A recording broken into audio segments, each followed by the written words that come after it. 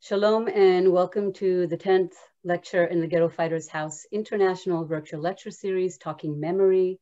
My name is Medin Shachar and I am an educator and a guide at the Ghetto Fighters House.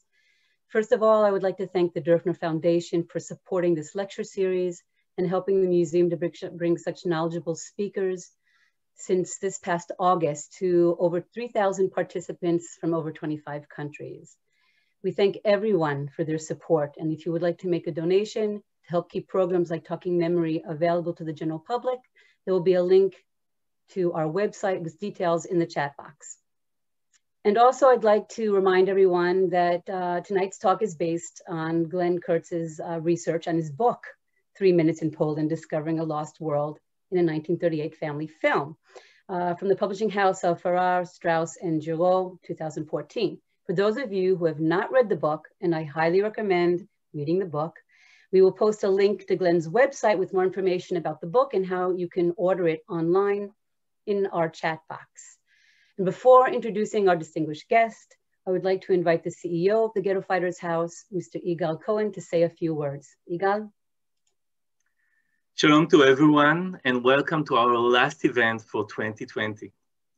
The lecture, the lecture series, Talking Memory, was born out of the circumstances created by the global pandemic that we all still experiencing. Here in Israel, museums and public institutions were closed for a long time and then reopened on and off. At the very beginning of this unbelievable forced lockdown, we at the Ghetto Fighters House understood that we must reinvent ourselves. We plan in no time numerous online activities for different audience in Israel and abroad, which were received with great interest and many participants from around the world.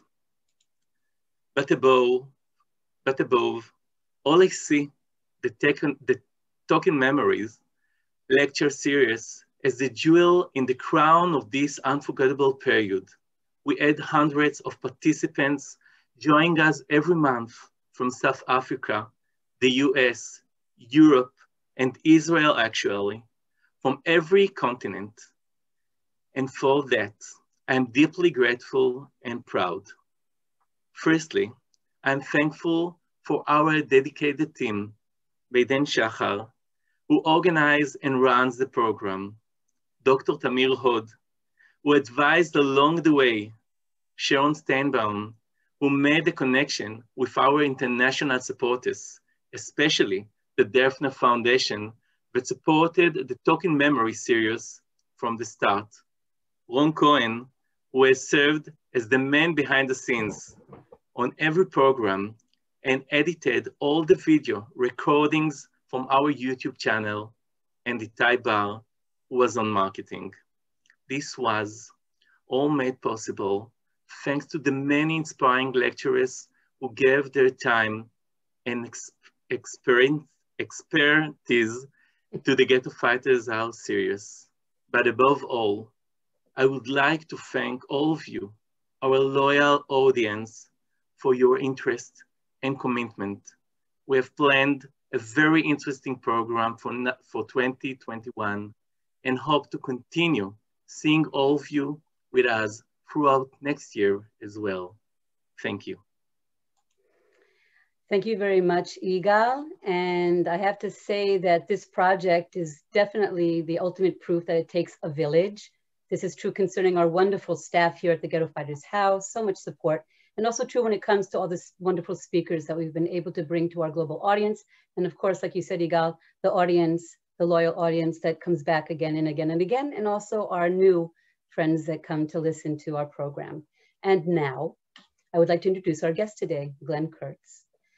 So as we all know, and that's why we're here tonight, Glenn Kurtz is the author of Three Minutes in Poland, Discovering a Lost World in a 1938 Family Film. It was named a best book of 2014 when it came out by The New Yorker and the Boston Globe and the National Public Radio the Los Angeles Times called the book breathtaking. I agree. It is definitely breathtaking from page to page.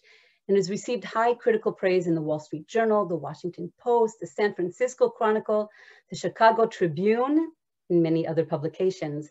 A Dutch translation appeared in 2015, and a documentary film based on the book and the research will be released in early 2020. So Glenn, please keep us uh, uh, updated when this will happen. Glenn's first book, Practicing a Musician's Return to Music, that was published by Alfred A. Knopf in 2007, also received enthusiastic reviews from the New York Times, the Los Angeles Times, the Wall Street Journal, and elsewhere. And like I said, I'm putting up a link for Glenn's website so you can read more about his uh, work. A frequent public speaker, Glenn has presented keynote addresses at the US Holocaust Memorial Museum in Washington, DC, the Rodgers Center for Holocaust Education, Chapman University in Orange, California, the Virginia Holocaust Museum in Richmond, the University of California, Santa Barbara, the Jewish Historical Museum in Amsterdam, the Wiener Library, and the POLIN Museum of History of Polish Jews, and now at the Ghetto Fighters House in virtual Israel. Glenn is a 2019-2022 Presidential Fellow at Chapman University, Orange in California, and the recipient of a 2016-17 John Simon Guggenheim Foundation Fellowship. A graduate of Tufts University and the New England Conservatory of Music, he holds a PhD from Stanford University in German Studies and Comparative Literature. He has taught at Stanford University, San Francisco State University, and is currently on the faculty at the Gallatin School of Individualized Study at New York University. He lives in New York, City, my favorite city, has just completed a novel and a book of nonfiction, both about the Empire State Building, my favorite building. so Glenn, for sure, uh, we're looking for those as well. Glenn, we are so happy to have you here today as our 10th speaker to close the 2020 Talking Memory program. Welcome, Glenn. Thank you, Medine. It's really a pleasure to be here and it's an honor to be here. Um, I want to thank you. I want to thank Igal Cohen. I want to thank Ron Cohen, who I met when I was uh, when I visited during my research in 2012. Um, you've had such extraordinary speakers, Samuel Kassow, David Marwell, my friends Michal Deckel and Marissa Fox. Um, so I am yeah. tremendously honored to, uh, to be the final speaker in this year's series. Um, thank you. Um, as so many stories um, about the war period and the Holocaust these days, this is a story about grandparents, or it begins with my grandparents. Um, and oh, it's still not working. Um, in a moment, you'll see an image of, uh, of my grandparents, David and Lisa Kurtz, um, both of whom were born in Poland in the 1880s and came to the United States as small children with their families um, in the 1890s. So they very much uh, identified as Americans. Um, and so our part in this story is, is an American story. Um, and as it was fairly common for, um, for people of that generation, the, the, sort of parents, the immigrants themselves had a, a harder time uh, adapting to the, um, to the new world. Ah, my grandparents.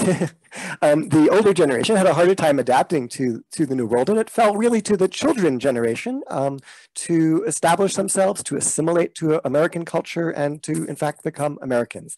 And my grandparents were very proud Americans. Um, they, uh, my grandfather left school uh, in the ninth grade and uh, started to um, support, help support his family. Uh, my grandmother also worked in a shop in her early years. They met and married in 1912. And by the mid 1930s, they had established themselves um, and um, began to travel. Here's a lovely picture of them from, from 1937. I, I should say that I never. Before you continue, hi, I'm sorry I'm bothering you.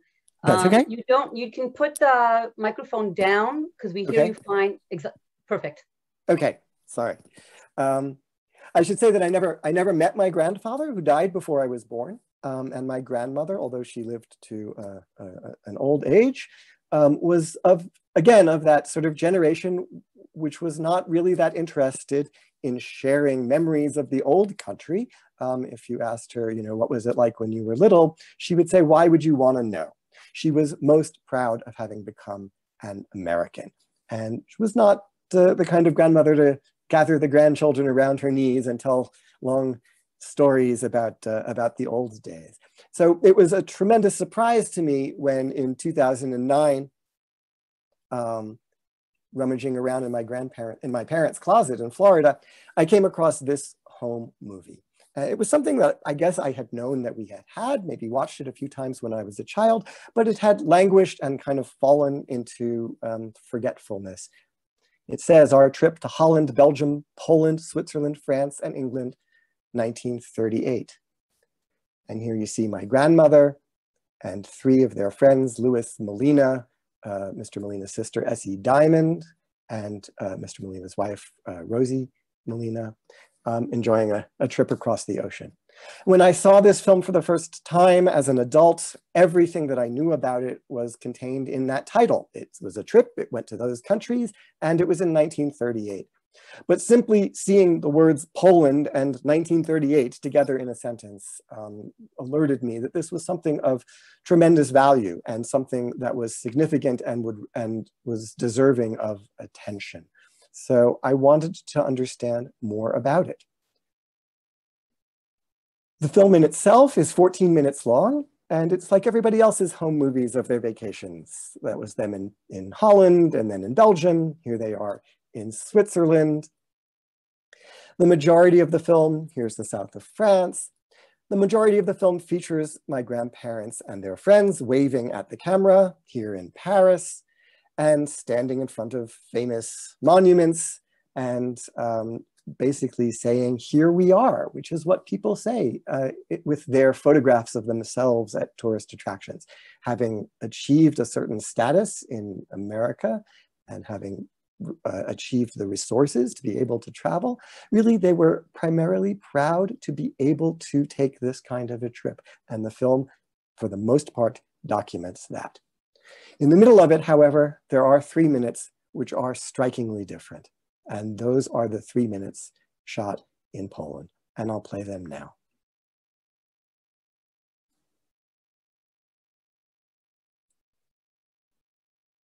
Of course, it's a silent film. And my grandfather was a very amateur filmmaker, so some of the shots are difficult to see, although this is interesting because interiors from this era are very unusual. But rather than my grandparents being the focus of the camera, now my grandfather is the focus because he has a camera. And you see the commotion that's created in this town by the presence of an American with a camera.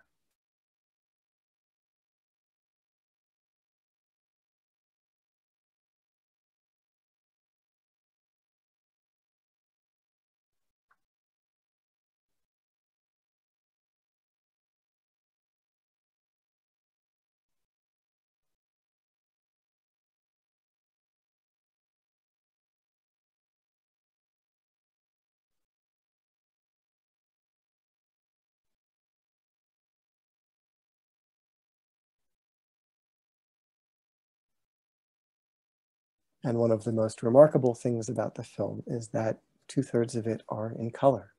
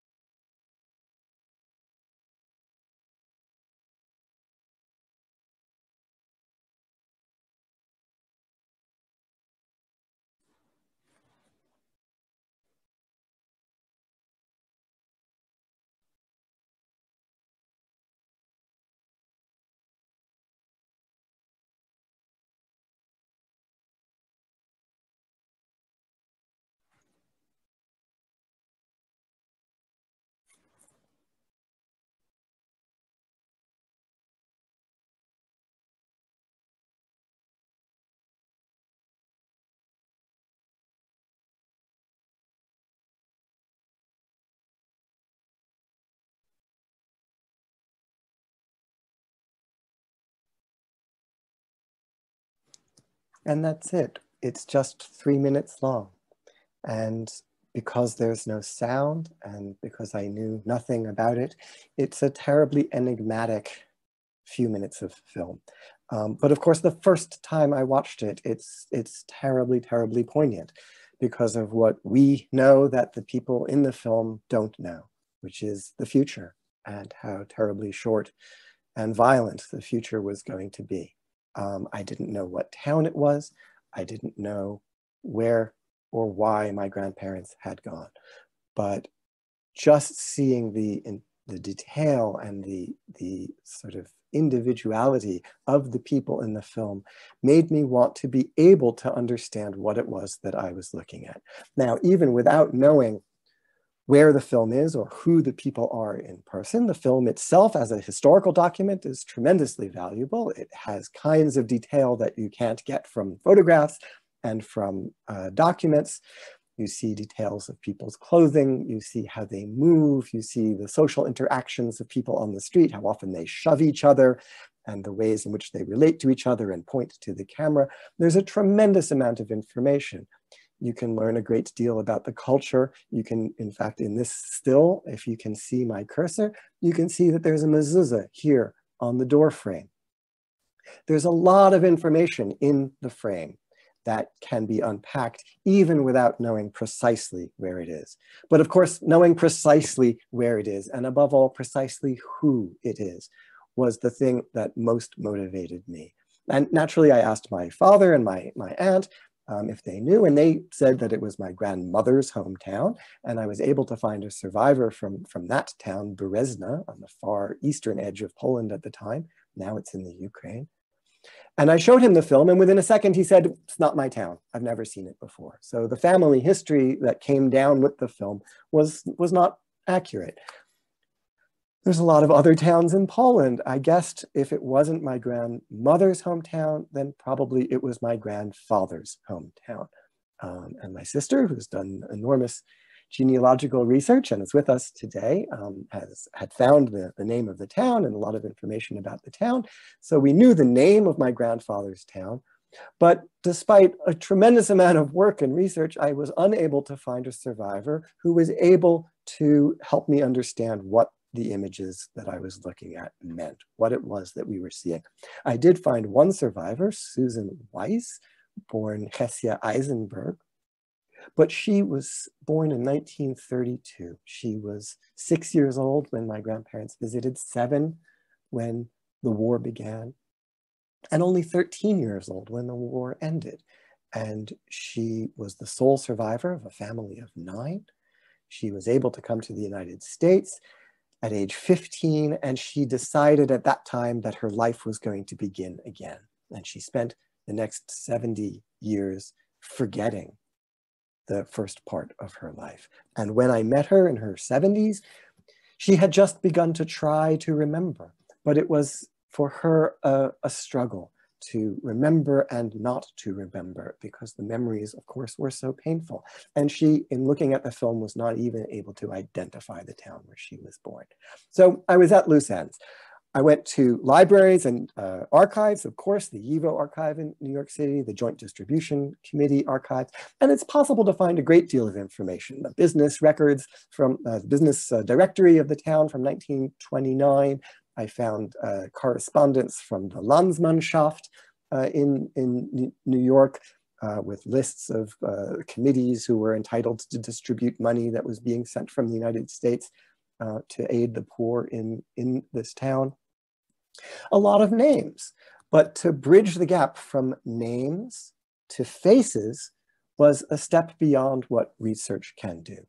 The one thing that I was able to do, and for this I have the Ghetto Fighters House to thank, in their archive, thanks to Zvi Oren, who I met when I was there in 2012, there are a handful of photographs that are labeled Nashelsk. They were donated anonymously. A few have names associated with them, but for my purposes, the one that was most important here on the right was a photograph labeled Nashelsk Synagogue Doors. And as you can see in the upper left panel of that door, there's a carved lion, and that lion matches exactly the lion which you can see in the upper left panel of the door in the still from my grandfather's film. So it was thanks to the Ghetto Fighters House that I was able finally to confirm that the town in the film is my grandfather's hometown of Nashelsk, Poland. Well, once you have the name, it's possible to learn a great deal of general information about the town. Nashelsk's about uh, 50 kilometers north of Warsaw. Uh, the Jewish population uh, settled there probably in the late 15th or early 16th century. By the 17th century, it had a, a, real presence. And by the middle of the 18th century, it was established enough to have built a large and famous wooden synagogue, uh, reputed to be one of the most beautiful synagogues in all of Poland. And that synagogue stood for more than 150 years. Uh, it was torn down in the 1880s and replaced by the uh, brick and iron synagogue that you see in my grandfather's film. By 1900, the town had a population of about 5,000, approximately half of which was, was Jewish. And by 1938, approximately 7,500 residents, of whom uh, slightly more than 3,000 were Jewish. There was a railway connection nearby, which uh, um, enabled uh, easy transportation back and forth to the capital. And it was a thriving, if poor, town um, in the way of Polish shtetls of that of that era. And it's different, I think, than we often imagine. It's not sort of the, the dirt streets Anatevka that Americans think of when they hear the word shtetl. Um, by the time my grandparents visited, this was a town on the cusp of modernity. Some of the delivery people here you see in the upper right had, uh, had uh, uh, trucks, not just uh, horses and wagons. You can see in this um, uh, image of the sort of uh, important members of the town that there's a, a, fairly wide representation of sort of different orientations towards Jewish culture. You have Orthodox, you have more secular Jews, you have professional Jews, and of course, tradesmen. It was a town with a great deal of culture. You, in the bottom, you see there were uh, uh, at least one, possibly two amateur theater companies. People in town had telephones it was a town that was just becoming modern in the way that we would recognize. Of course, all of that ended in September 1939. Um, on September 1st, the German army invaded Poland, and because of the town's proximity to the capital and that railway line, it was occupied almost immediately. By September 3rd, 1939, the town was in German hands. And immediately the Jewish population was targeted. Um, the synagogue was desecrated, the Torah scrolls were burned in the marketplace, stores were looted, women were raped, men were seized on the streets and would have their beards shaved off or would be thrown into trucks and transported someplace for forced labor. By the end of October 1939, the territory that contained Nashelsk was annexed to Germany. It became part of the German Reich. And at the end of October of 1939, Heinrich Himmler issued an order saying that by the end of the year, all Jews had to be expelled from these annexed territories. So it was barely three months after the Germans arrived, on December 3rd, 1939, that the entire Jewish population of Nashelsk was gathered in the marketplace a small group was sent immediately to the train station to a deportation train. The remainder were confined in the synagogue overnight, where there were these beautiful hand-painted murals on the walls, which they were forced to scrape off with their fingernails. The following morning, they were also loaded onto a deportation train.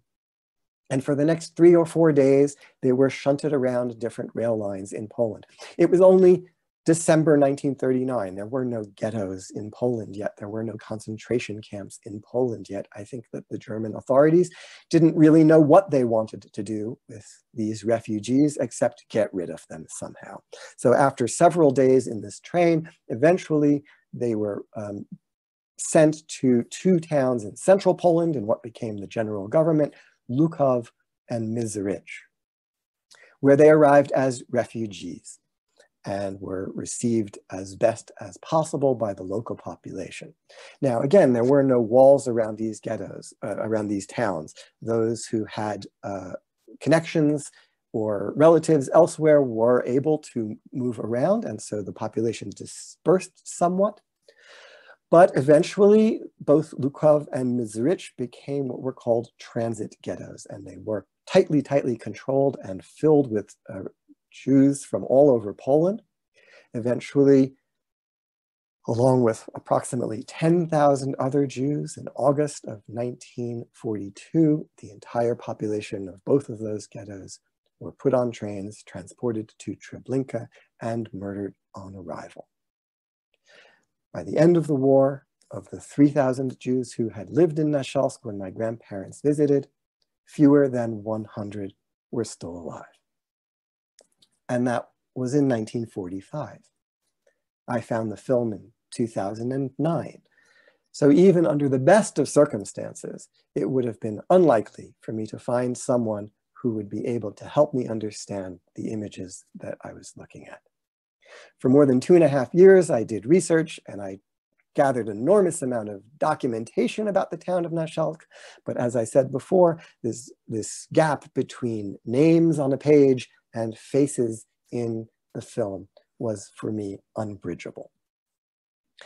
And then two and a half years after I started searching, I got an email from a woman in Detroit, Marcy Rosen, who I believe is with us today.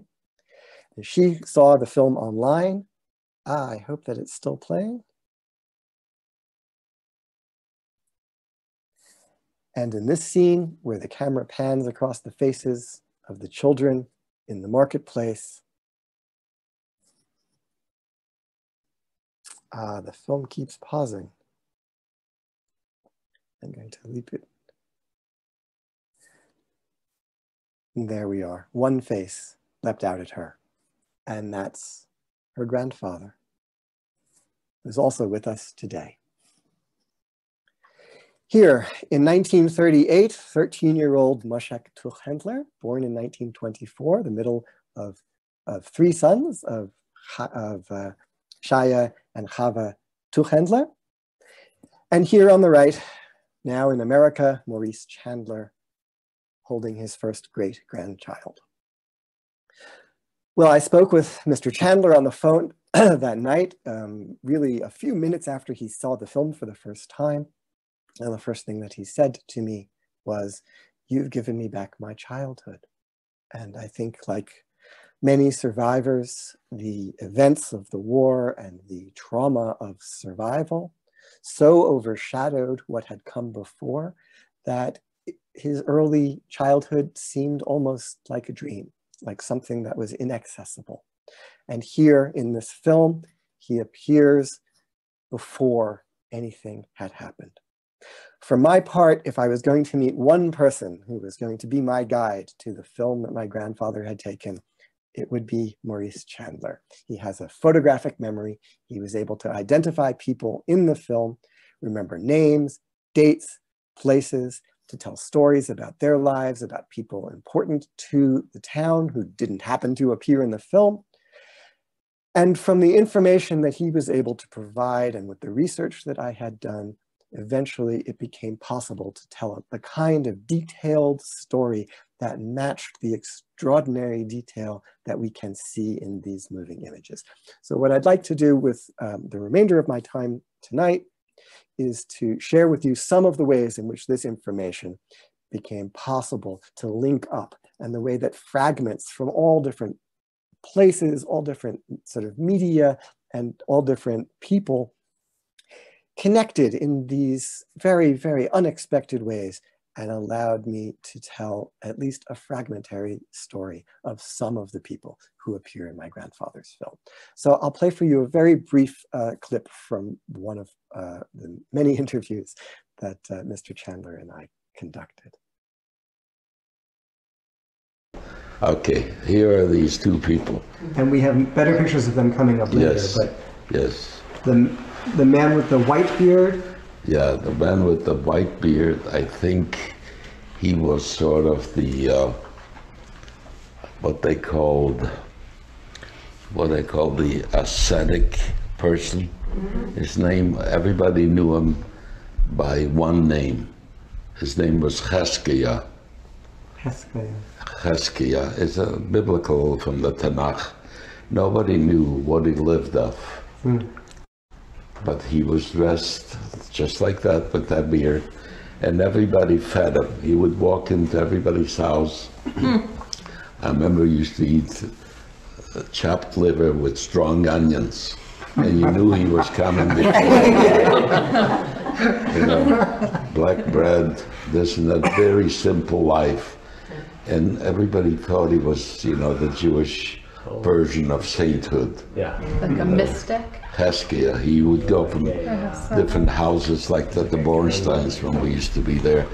He would come up and he tells told stories from the past and so on and then he'd leave. Nobody knew where he slept, hmm. probably in the shul or something. He was that type of a character. Hmm. Now, the men, the shorter men, with the black beard. Yeah, black his name is Chaim Nussen Zweighaft, and he was the one they called him the Matzaiva Kritzer. He was the one that chiseled all the uh, uh, headstones, headstones for the cemetery. Well, you can hear the texture and the quality of Mr. Chandler's extraordinary memory. And with information like that, as I say, it became possible to tell a story about my grandfather's film that otherwise simply would not have been possible. Um, and I'll share with you some of the ways in which this information developed. Eventually, we were able to locate seven living survivors from Nashelsk and to interview them and gather their stories. So one of the people Mr. Chandler introduced me to was a man named Kiva Richman. Um, Kiva's family had uh, left Poland in August 1939. Um, Kiva was only three years old, so he had no memory of it. Um, but his family brought with them a photo album. And um, I was able to look at this photo album. Kiva didn't know any of the people, of course, but his mother very fortunately had labeled these images.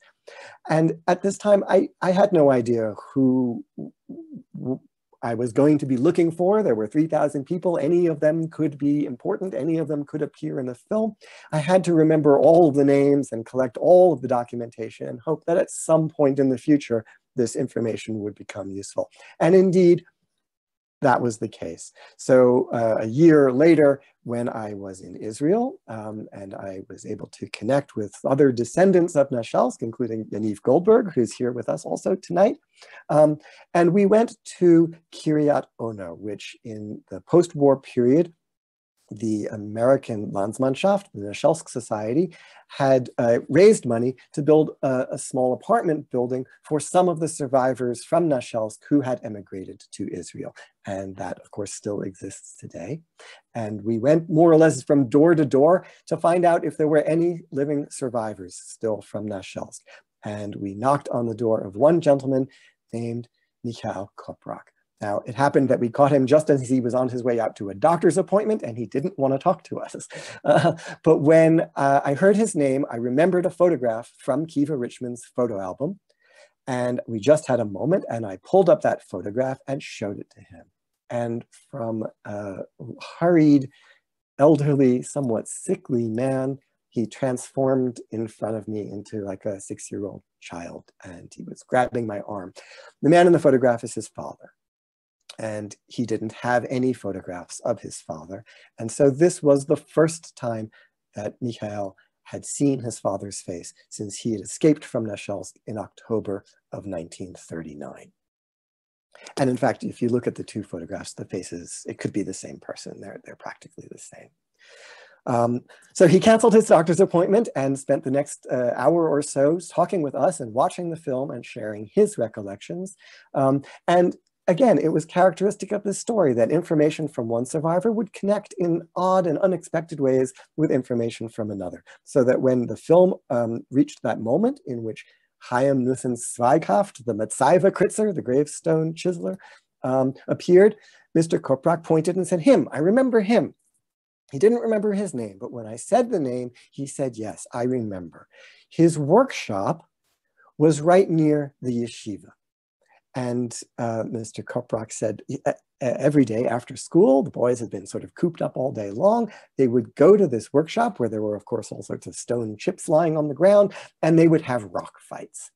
Now, needless to say, this would annoy Mr. Zweighaft, who would try to get rid of them. And, and what Mr. Koprak said was he would threaten us by saying he was going to give our names to the angel of death. And they figured because of his connection to the, because of his profession, he had a good connection to the angel. And this threat was very effective and the boys would scatter. I bring this up because now not only is there a face in the film and a name, but we have this, this little anecdote, this moment, momentary slice of life, which probably Mr. Koprak had never shared with anyone. Who, who else would care? And yet because of my grandfather's film, because of Marcy Rosen recognizing her grandfather, because of Mr. Chandler being able to provide the name, and because of the uh, connections that we were able to establish with Mr. Koprak, this little piece of memory and this little portrait of this man has been preserved. Well, it turns out that Chaim Nussen Zweighaft was a pretty important guy in town. On the left here is in my grandfather's film, and here in another photograph from Kiva Richmond's family album.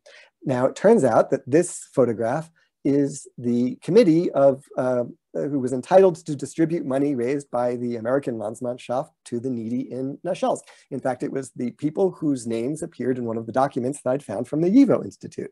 So it became possible to identify all of the men in this other photograph.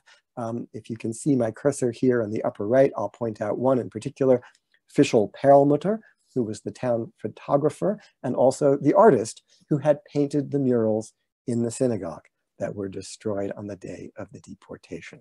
In the center, of course, you see Chaim Nussen Zweighaft. And then again, characteristic of this story that I never knew whose name was going to be important. And in fact, the people who get remembered are the people who happen by accident or circumstance to show up in documents that happen to survive. And so I'll point out here in the lower left, this gentleman. Chaim Huberman. Well, among the documents that we found uh, here from the um, Jewish Historical Institute in Warsaw, from the Ringelblum archive, there are only a handful of documents that uh, mention Nashelsk, including this one, which is um, simply the protocol of a meeting that took place at the end of December 1939 um, uh, documenting the formation of a committee to aid the Jewish refugees deported to Lukov. Lukov. Well, it's a very typical memo. It simply says what happened and who was there among the people who was there. Here, if you can see the cursor, the third signature, Chaim Huberman.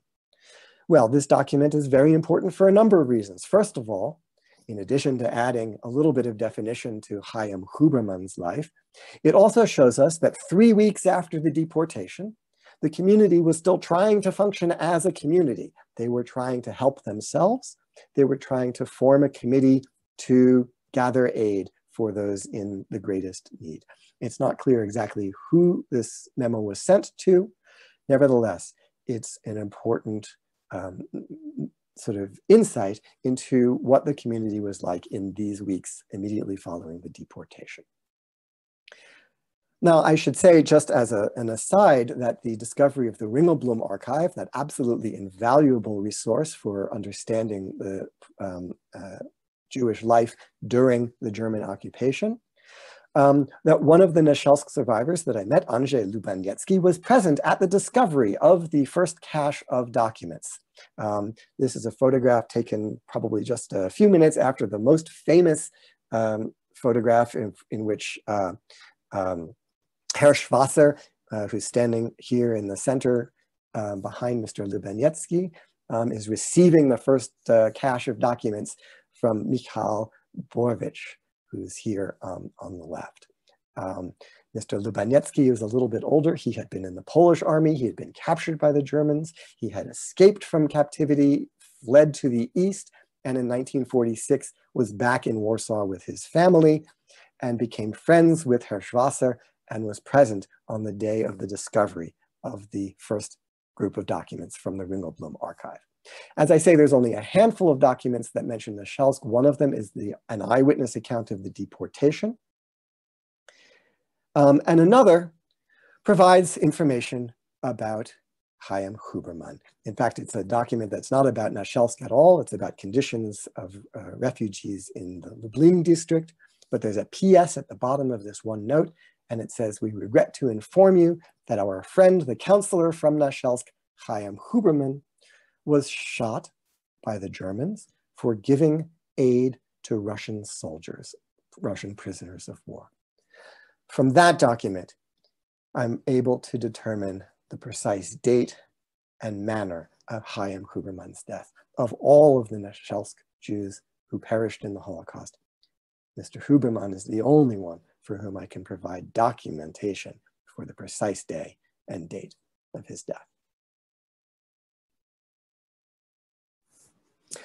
Another person Mr. Chandler recognized in my grandfather's film was this young man with the beard here, and he remembered the name Kubel. Well, as I mentioned, my sister was uh, deeply involved in Jewish genealogy. In fact, she was the president of the Jewish Genealogical Society of the San Francisco Bay Area, and as such had uh, access to the archives of the Jewish Genealogical Society. And so when we started researching Nashelsk, we went back into these archives, 20 years worth of emails in which people post uh, the family names that they're looking for and the towns that they're interested in. And there, from 1996, was an email from someone looking for the family Kubel from Nashelsk. It was more than 13 years later that I responded to that email. And amazingly, the woman, Faith Olstein, responded. And she sent me this photograph. The Kubel family in Nashelsk. And there you can see in the upper left, the same young man who appears in my grandfather's film. Well, uh, Faith, who uh, sent me this photograph, was the daughter of Sura Kubel, who's standing in the upper right in the plaid suit. Um, it was a family of five sisters and one brother, Avram, the youngest, and the other gentleman standing there is the husband of the eldest sister, Shandol, who's sitting in the center. Sura came to the United States in 1938, and she was the only survivor of her family. And like many sole survivors, it was extremely painful for her to speak about her lost family. And so her children, Faith Olstein and Jerry Goldsmith, did not even know the names of their aunts and uncles in Nashelsk. But at Sura's death, Jerry Goldsmith, Sura's son, found a collection of photographs and letters from the sisters to Sura in the United States. And this cache of documents proved to be an extraordinary record of their life from 1938 until early 1942 from the Warsaw Ghetto. Among those documents was this photograph, which Jerry had not even recognized was the same family. And I'll go back between the two in a second. But this is just two years later from a letter associated with uh, probably in the beginning of 19, uh, the end of 1940 or early 1941. Obviously, the men have shaved their beards, most likely to appear less conspicuously Jewish. But here I want to point out just the transformation in their faces. If you look here in the center, you see Shandel sitting quite self-assured. And she's moved to the right of this of the photograph in the next To me, this transformation is one of the most haunting documents that I found in my search, the, the haunted, indeed hunted expression on her face um, tells as much as any of the letters. As I mentioned, this archive, this collection of documents was a tremendous, um, uh, of tremendous importance. Among other photographs was this one, um, and naturally, of course, every time I found something new, I would share it with all of the survivors that I was in touch with. And when I showed this to Mr. Chandler, he was amazed. And he was amazed for any number of reasons. First, here he is himself, once again, sitting in the front and center. He recognized it immediately as having been taken in his family's workshop. They had a, uh, a ready-to-wear clothing store, and this was where the clothes were made. And then you can see, in fact, on the wall in the back, the designs for the fashions for spring 1939. Um, but what was most important was the presence of his family members. Here, if you can see my cursor, was his cousin Elia Applebaum, who was the designer and had most likely drawn those designs for the clothing. Here is Mr. Chandler's older brother, Avram. Below him, his younger brother, David. And here on the far right is Mr. Chandler's father. This is the closest thing that he had to a family photograph. With his help and with the help of the other survivors, it became possible to identify the majority of people in this photograph. And even when Maury and I talk today, he always says he, he knows all of their names. And um, over the years, uh, new names have continued to come to him. And I'm hopeful that we'll be able to identify more as time goes on. Of course, I became extremely interested in the Kubel family and Sura's um, survival. I was able to find her manifest when she arrived in the United States in November of 1938. And here's detail. You can see Kubel, Sura. She's 26 years old, female single. Her profession is given as a corset maker. From Nashelsk, her closest contact in Nashelsk is her sister, Ruchla. And the big surprise for me here at the bottom, her contact in the United States, cousin Louis Molina, my grandfather's friend, who accompanied them on their trip and who you saw in that first clip of my grandparents crossing the ocean. So it was from this document that for the first time I had some inkling of what my grandparents had done during their time in Nashelsk.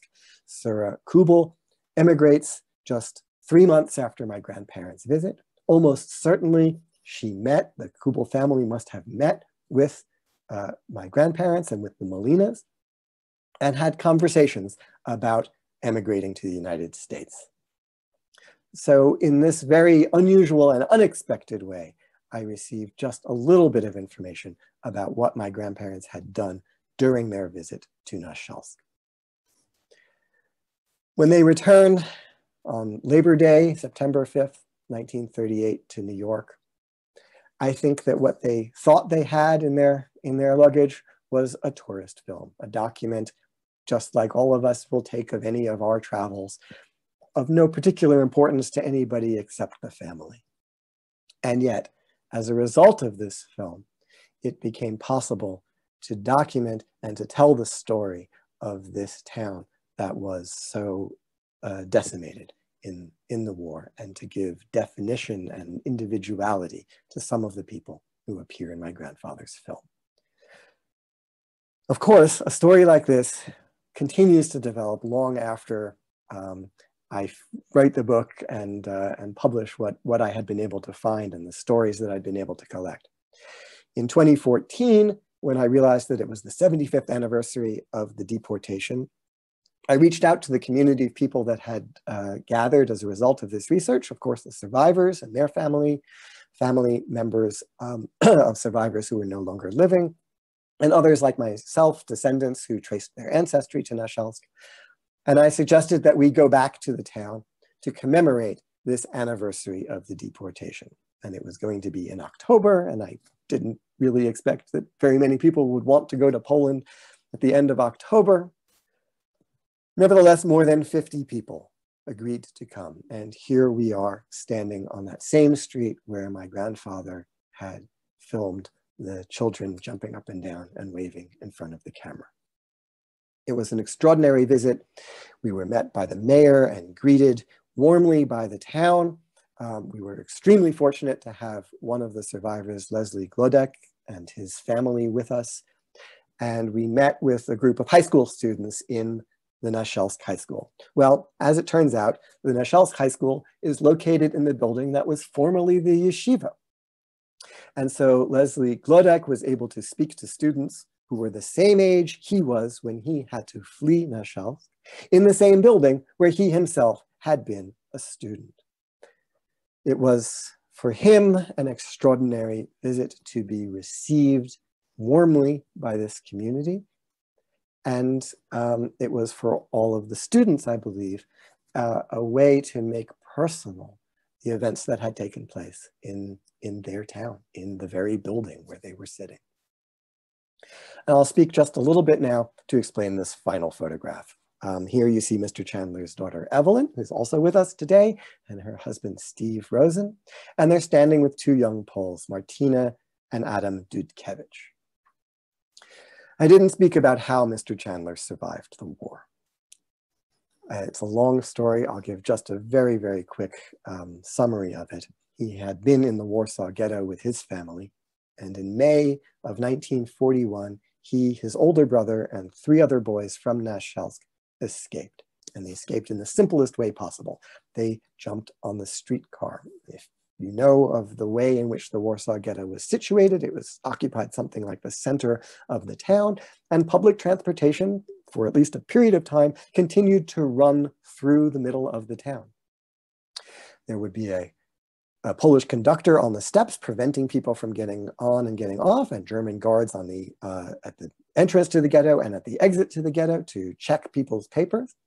But Mr. Chandler learned that it was possible to bribe the Polish conductor, and he, his brother, and these three other boys did so and got on.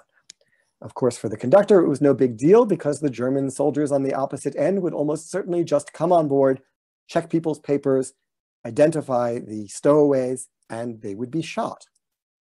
But for whatever reason, on that day, Mr. Chandler says that the weather was very inclement, it was cold, and the German guard, instead of coming on to the, tr the tram, simply walked around it and then sent it on its way. And so the five boys were out of the ghetto. Of course, the first thing that happened is that they were assaulted by the Schmaltzovniks, these gangs of bandits who would attack um, and prey on uh, Jewish escapees. They made their way, however, out into the countryside, and eventually Mr. Chandler and his brother um, got jobs on farms um, in, in, an area sort of east of the capital. The other three boys, after a few weeks of that life, decided that this was not for them, and they all went back to the ghetto, and none of them survived. During the winter of 1941 to 42, a typhus epidemic raged throughout Poland, and during that time, Mr. Chandler's older brother, Avram, died, and he was left alone.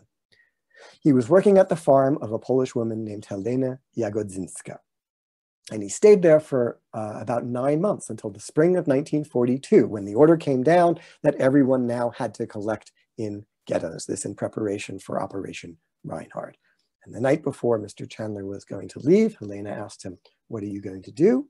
And he said, well, I've run out of options. I'll, I'll have to go to a ghetto. And she said, you're not going to go to a ghetto. That night, her nephew, Stanisław Pacznik, who worked at the County Hall of Records, arrived with a stolen birth certificate. They coached Mr. Chandler in his new name. They said, try to be this person. And they sent him on his way. Well, of course, to survive in German occupied Poland, a birth certificate was an important document, but it was hardly a guarantee of success. You needed a great deal more in order to survive. The story of that survival is in the book. Um, I'm not going to go into the details here now. Suffice it to say that Mr. Chandler did survive. And eventually he came to the United States. 70 years went by and then one day he's on the phone with some stranger whose grandfather had gone to Nasielsk in 1938 and shown and, and captured Mr. Chandler as a boy on film. So we had a meeting and the United States Holocaust Memorial Museum documented that meeting and they made a little video about our about my grandfather's film and about this way that these two families had been reconnected as a result of it. And that film got picked up by Polish television news. And at the end of 2012, it was shown on um, uh, TVN 24, this popular news program in Poland, and Helena Jagodzinska's daughter, now in her 80s, saw it and recognized Mr. Chandler as the boy her mother had helped during the war. And a few weeks later, her granddaughter, Helena's great-granddaughter, Martina Dudkiewicz, emailed me on Facebook And she said, well, when Mr. Chandler left my great grandmother's farm in 1942, he left behind a group of photographs and we still have them and we would like to return them. And indeed, they did. And this was the opportunity for Mr. Chandler's family to meet with the Dudkiewicz family. And indeed, uh, two years ago, they came to the United States and had a chance to meet Mr. Chandler personally. Two years later, Helena Jagodzinska and Stanisław Pacznik were named Righteous Among the Nations. And here is Martina and her grandmother, Mr. Chandler's family, and, uh, and Helena's family at the Nozyk Synagogue in Warsaw. The ways in which my grandfather's films spread out and created this network, which had all of these chance encounters and un unexpected connections, shows, I think, the way in which the town itself was connected. A small town is a system of networks. And if you tap into them and if you pull on one thread in them, they lead to many others. I never imagined when I found the film that it would be possible to uh, identify as many people as we did and to tell the stories in the detail that I have. But with Mr. Chandler's help and with the help of the other survivors, it became possible. So thank you very much. And then I'd uh, be happy to take questions. Thank you so much, Glenn, for telling your story, your family's story, and also the story of many uh, uh, of the families of the survivors. Um, actually, not that we have uh, questions, but we actually have uh, comments from people who are connected. I don't know how you say it, the Neshakliers or Neshekliers? Neshelskers? Nesheklers. so I want to start with uh, Howard uh.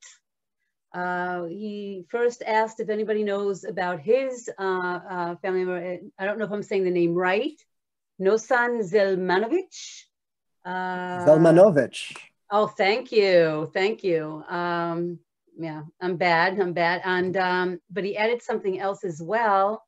I'm just looking for it. I lost the, the rest of the, uh, what do you, oh, here it is. Okay, so he wrote that my grandparents, Abraham and uh, Rachel Ne Zelmanovich, uh, Shrut left uh, Nashalek in 1905. Hmm. And she had a brother, this um, Nosan, um, a brother and a sister who moved to New York, and a brother Nosan uh, who stayed in uh, Nashlik and is presumed to have perished in the Holocaust. I think what uh, Howard is asking if anybody knows or, uh, about that, uh, about him, the name, did that come up in any of your uh, research, Glenn? Well, the name Zamanovich is familiar. Again, this the list of names, for example, the business right. directory, they appear there. Um, I, I I'm grateful to be speaking in Israel. I know that there are very likely descendants from the town. I would say rather than spending time here um, to go through all of the genealogical connections that I hope we have, I recommend mm -hmm. for everyone, there is a Facebook page called Return to Nashelsk, which is a closed group for descendants. And this is a place where everyone can share information and ask questions and hopefully make connections. We've already had some extraordinary connections. Um, in addition, if you wish, you can email me directly. Um, I'm happy to respond to, to inquiries. Right, and I also put up your um, your web page so you, you, can people can contact you as well. There are definitely a few more um, people here that are talking about their own personal connections, and I think that's a great way to uh, make the connection. Um, actually, I do want to ask one question. It's okay. I don't want to get into the secrets of the book. Really, I, I truly recommend reading the book because Glenn really not only talks about uh, pre uh, Holocaust, uh, but also what happens during the war. And you gave one example, but there are many examples of how um, other people that you discovered how they survived. So it's a fascinating uh, journey, each one a different journey. Uh, but I do want to ask you about um, the actual uh, film.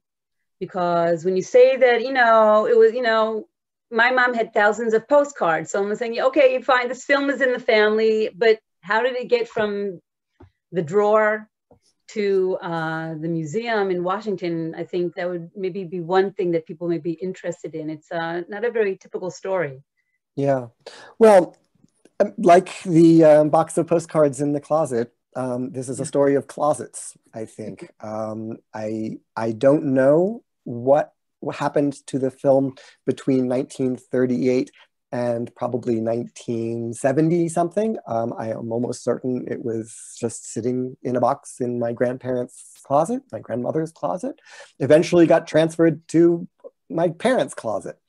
Um, and um, fortunately, when my parents, um, you know, dissolved the, the my childhood home, the house, and moved to, to Florida, as all New York Jews seem to have to, um, um, they kept it and they they brought it with them, um, and it simply sat in a box then in that closet, and you know, it was, um, this is a terrible way to store film. It's a terrible way to store any important documents. And um, film itself was in the process of decomposing when I discovered it. And if it had been a month or a couple of months later, it's very possible we would not have been able to recover the original film at all. Um, I donated it as soon as I found it to the Holocaust Museum in Washington, DC, and they spent a great deal of money and devoted a lot of resources to having it digitized and preserved in that way. So. Um, there is one more question about, um, besides the film, was there, did your grandparents uh, keep a diary or an itinerary of their, right? Uh, which Nothing. Said, you know, amateur tourists, you know? yeah, I mean, it's astonishing that no, there's no documentation of this visit. The only thing that we have from this is a, is a handful of postcards that my grandparents had sent to my aunt, who was at you know, summer camp uh, during this time. And she saved them. And um, she didn't even know that she'd saved them. It took her a couple of years, literally, to find them buried in a, also in her closet. Um, but from those postcards, I was able to piece together the likely itinerary. And that helped me eventually identify the precise day on which my grandparents had, had visited Nasielsk. Um, um, I think I'll send you the chat with all the uh, people who are, you know, talking about their family uh, connections. But there is one person, um, it's lost because everybody keeps adding now, but someone actually wrote that they're, they're inspired by your research and they're going to go research their family from uh, Riga. What I would like to do now, Glenn, is maybe you can introduce uh, who we have in the in our audience today, besides our wonderful audience there are some special um, uh, participants this evening. So, well, thank you. Um, it's it's an honor, and if I appeared nervous during my talk, it's because Mr. Chandler is with us to, this evening, um, and uh, along with his family. And um, uh, Maury, I don't know if you would be willing to say a few words of greeting, um, but um, I, I would invite you to uh, to say hello. Yes, we hear you. Hello. Good to see you. How do I uh, unmute myself? Uh, you've already unmuted yourself. We can hear you. You can hear. Well, I, I'm just amazed at the interest of people of, uh, I would call it a virtual Triata Mason. I mean, the fact that I'm still around and I'm still uh, sort of working three times a week and I'm driving and I don't know, Ma'ayin Yavo Ezri, I don't know where it comes from, but I'm around and, and I'm amazed at the uh, people that are interested in their the history of their relatives and so on. And I was able to shed some light on what, what it is, how I survived. That's a big question. At my age now, I keep asking the same question, how was it possible? Yeah. And the religious would say, Etzba Elohim, which I doubt very much. And I sometimes say, the Etzba missed me because the intent wasn't this this great. I I slipped away from the Etzba Elohim, and uh, I was able to acquire the Polish language uh, faultlessly to a complete 101% because this is what had to be done to live in, in Polish culture and the village so that nobody had any questions if I am Catholic. So I learned how to go to church and go to confession and catechism, the whole nine yards. So that's what I would call etzba. I don't know whose etzba it was, but somebody, you know, and he also, they gave me the looks that, you know, avoided me looking Jewish. And uh, of course, the uh, false certificate that came up in question many times, but I missed it. So I'm grateful that I'm here, have a nice family. My kids are all Jewish. I have a little granddaughter at MIT, and she is conducting services in Hebrew. She's half Japanese. And she speaks fluent Hebrew and runs the show.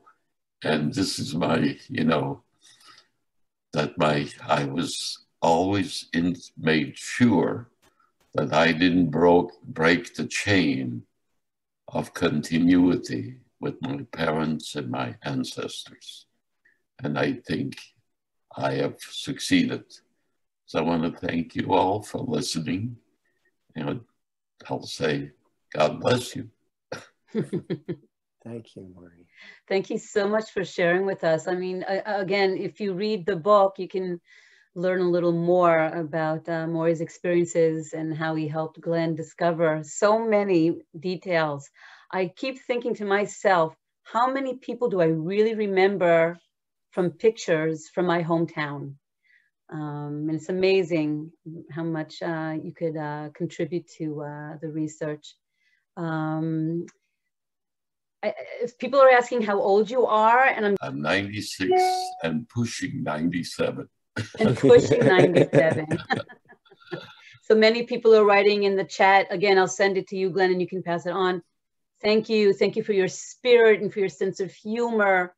Uh, um, and thank you again for coming and for being with us and sharing your story and your grandparents' story. And I have the book in front of me with my page. I highly recommend to, to, to get the book, to read it. Those of you who have been following us. Thank you, me too. And if I may say also my thank yous, I want to thank you and the staff at the Ghetto Fighters House, which has been absolutely marvelous. And the programs that you're doing are so important. Mm -hmm. um, and in particular, I want to thank Maury Chandler and his family for being here today um, and other people who participated in the story for, for being here.